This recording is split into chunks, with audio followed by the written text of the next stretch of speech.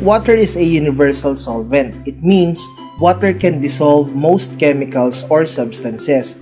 It also regulates body temperature. Earth is 3-4 or 75% covered by water. The different forms are oceans, lakes, brooks, streams, and rivers.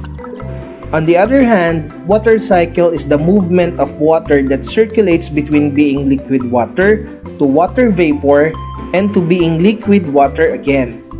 An example of water cycle is when water evaporates from the ocean and then returns to the land in the form of rain o in Tagalog, ulan.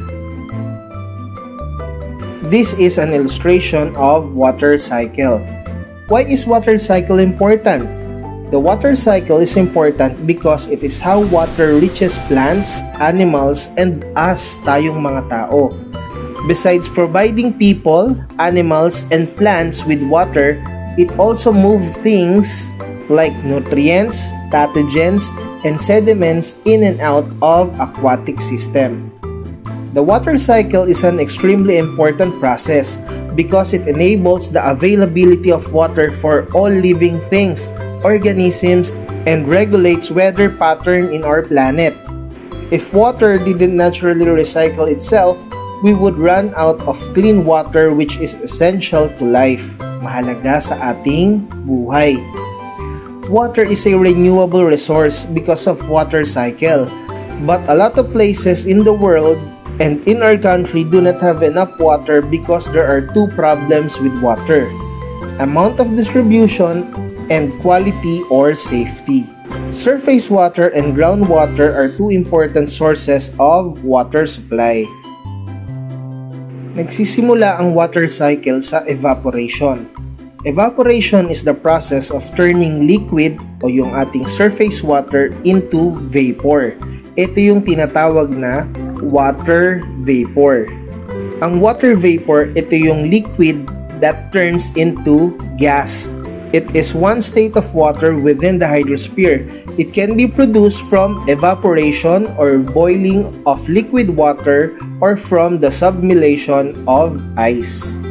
Itong water vapor na ito, aakyat yan sa ating atmosphere at sila yung bubuo ng clouds. Sa clouds naman nangyayari yung condensation. Ang condensation, ito yung process na kung saan yung water vapor siya ay gas, that vapor will turn into liquid. May ipon yun sa clouds and then bibigat yon. So ano ang mangyayari? It will rain.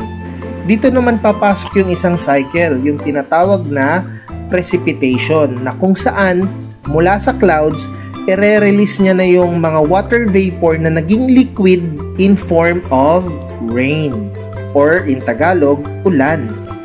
Bukod sa evaporation, meron din tayong tinatawag na transpiration. Transpiration is the release of water from plant leaves. So, yung ulan na iyon, mapupunta ulit yon sa surface water. Mula ulit doon, magkakaroon ulit ng evaporation na kung saan yung surface water, yung liquid, will turn into water vapor. So, aakyat ulit yon and then makakagawa sila ng clouds. Sa clouds naman nangyayari yung condensation na kung saan yung water vapor babalik siya sa pagiging liquid. Kapag mabigat na siya, ire-release na siya ng clouds.